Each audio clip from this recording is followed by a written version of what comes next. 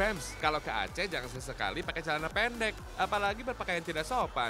Bisa-bisa kalian disarungin tuh. Heh, maksudnya disuruh pakai sarung sama wilayatul hisbah alias polisi syariah.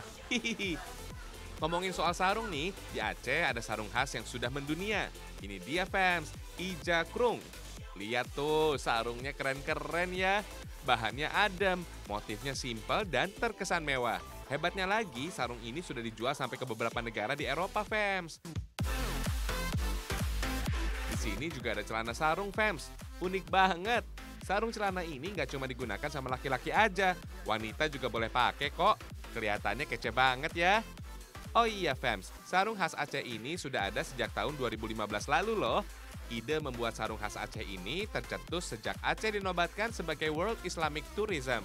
Saat itu Aceh nggak punya buah tangan yang khas untuk wisatawan yang datang. Ditambah Aceh masih mempertahankan budaya untuk memakai kain sarung. Makanya sarung ini semakin populer sampai sekarang.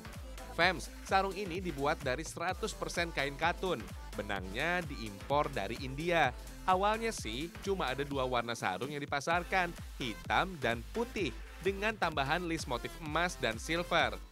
Karena banyak permintaan dari konsumen, akhirnya kain ini memiliki aneka warna. Ada krem, ungu, dan lainnya. Untuk membuatnya cukup mudah, fans. Kita buat polanya dulu, lalu gunting sesuai pola tadi. Jahit kedua sisi kain ya, fans. Kemudian sablon motifnya deh. Proses bikin kain ini masih dilakukan secara manual. Makanya kain khas Aceh ini harganya lumayan mahal sekitar 200 sampai 300 ribu rupiah fans. Kalau untuk dikirim ke luar negeri, harganya jelas lebih mahal tuh. For your info fans, sarung adalah salah satu pakaian Nusantara yang diwariskan oleh nenek moyang kita. Banyak juga yang bilang sarung sudah menjadi identitas budaya Indonesia. Di Aceh, kebiasaan pakai sarung sudah ada sejak Kerajaan Aceh Darussalam sekitar abad ke-17. Selain untuk kegiatan ibadah, sarung menjadi simbol perlawanan terhadap penjajah. Oh iya fans, sarung sebenarnya berasal dari bangsa Yaman, kemudian dimodifikasi dengan adat dan budaya khas Nusantara. Alasan itulah nama sarung berbeda-beda di setiap daerah. Misalnya aja songket, tapis, dan ulos. Dulu sarung juga melambangkan status sosial fans.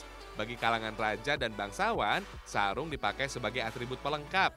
Untuk kalangan ulama dan masyarakat umum, sarung dipakai sebagai pakaian sehari-hari.